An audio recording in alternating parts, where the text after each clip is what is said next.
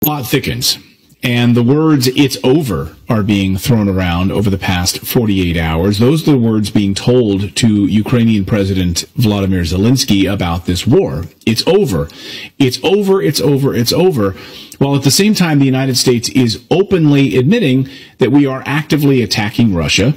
Uh, using Ukrainians as cannon fodder to do it. So this is confirmed by the CIA uh, confirmed by Ukraine. So then you have this. According to reports, German and French leaders quietly met with Zelensky this week and told him that Ukraine will not win the war and should negotiate a settlement with Russia. But the U.S. is actively pushing for more weapons and a new escalation with Russia and China. So what the hell is actually going on here?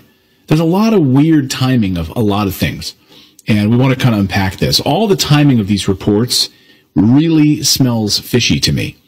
Uh, on the surface, of course, Ukraine lost the war about a year ago, so this is not news. We knew from the moment this started that this was over.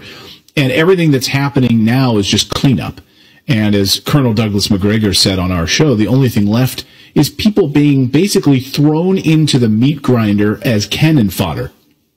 And we now know that this is confirmation of this. Newsweek publishing this report out of Bakhmut saying the life expectancy near the front line for Ukrainian soldiers is four hours. The life expectancy near four hours on the front lines of this war.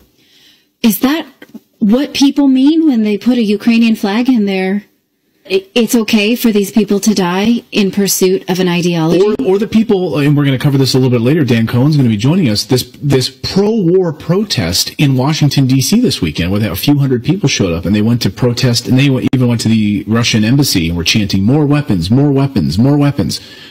Okay, so that's what this looks like. Four hours is the life expectancy of a person that shows up on the front lines and is killed. And the guy even said, he said, you know, sometimes it's a little bit longer. Like, oh, five hours? That's nice. Four or five hours is how long you're going to live now showing up in the front lines against this machine. Um, unbelievable. And the U.S. is using Ukrainians to be killed in this proxy war. If you really care about the Ukrainian people like you claim you do, then listen to me very carefully. My name is Lucas Gage. I served two tours in Iraq.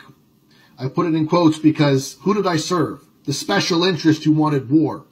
How did they get that war? They lied to us. They said Saddam had weapons of mass destruction and he was tied to 9-11. Both lies, and we all know it now. Years later, of course, after all the damage has been done. The same, I believe, is happening with the Ukrainians. The EU. What is going on?